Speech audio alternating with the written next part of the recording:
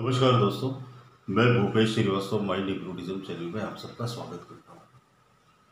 हमारी सांस और हमारी सोच, हमारी ज़िंदगी बदल सकती है। ये दो चीज़ें मोस्ट इम्पोर्टेंट हैं। हमारी लाइफ किससे निर्मित होती है?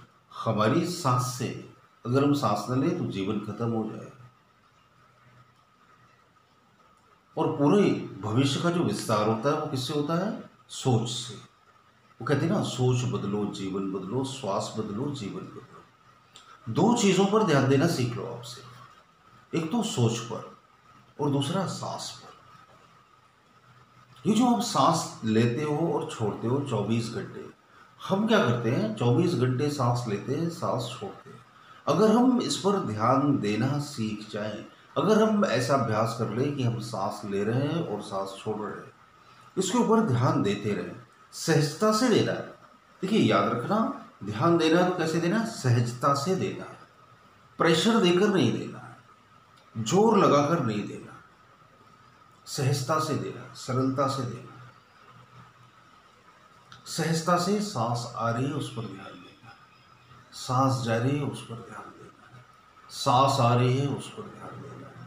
सांस जा रही है, उस पर ध्यान देना। उठते, बैठते, चलते, जागते, सोते। अवेयरनेस पैदा होने लगी। और इसके साथ साथ क्या करना है? सोचने पर ध्यान देना है कि मैं क्या सोच रहा हूँ।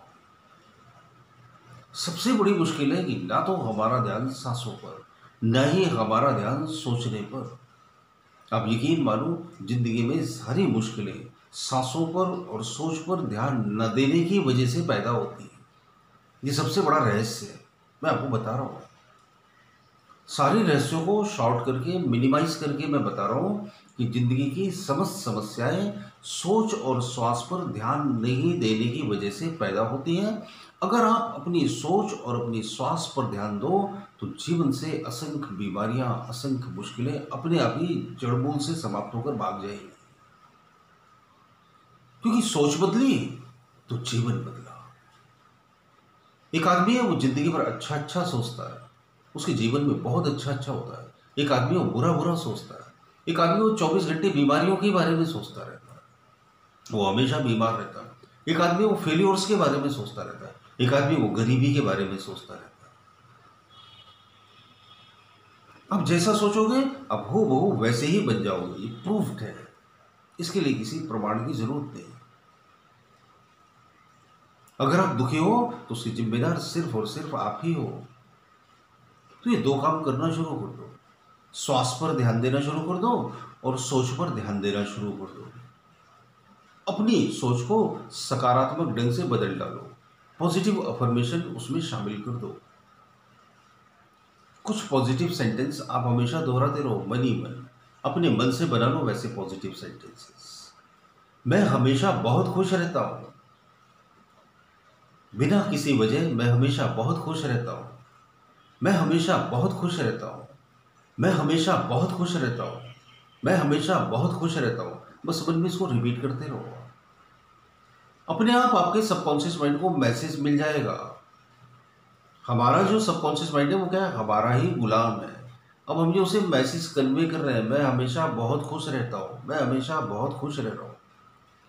तो क्या होता है, नौकर सुन रहा है कि मालिक ने ऑर्डर दिया, मैं हमेशा बहुत खुश रहता हूँ। तो वो वैसे ही एक्ट करने लगेगा और रिएक्ट करने लगेगा और बॉडी को बहुत ही स्वस्थ, बहुत ही प्रसन्न और बहुत ही आनंद में ले जाएगा, शरीर को खूबसूरत बनाने लगेगा। और वो ऐसी सिचुएशन पैदा करेगा कि हम हमेशा बहुत खुश रहेंगे। मैं हमेशा बहुत खुश रहता हूँ। इस एक लाइन को बोलने में क्या जाता है? अब यकीन मानो, आप मानो या मत मानो पॉजिटिव ऑफर्मेशन सकारात्मक सूचनाएँ अच्छी सोच ज़िंदगी को बदलने की पूरी ताकत रखती है। दो चीज़ों पर ध्यान देना, एक तो श्वास पर ध्यान देना और दूसरा सोच पर ध्यान देना। श्वास पर और सोच पर ध्यान देने से पूरा जीवन बड़ी सहजता से, बड़ी सहजता से, जादुई तरीके से बदलने लगता है और वो भी बड़ी तेज रफ्तार से। अब करके ज़रूर देखना। मेरे छोटे छोटे वीडियोस अच्छे लगते हो तो थम्स अप का पैदा कर, लाइक ज़रूर करना। चैनल पर नए हो तो सब्सक्राइब कर लीजिए।